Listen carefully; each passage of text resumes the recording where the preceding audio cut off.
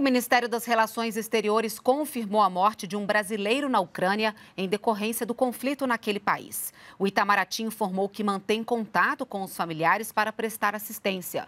Em nota, o governo brasileiro também reforçou que desaconselha deslocamentos de brasileiros à Ucrânia enquanto não houver condições de segurança suficientes no país.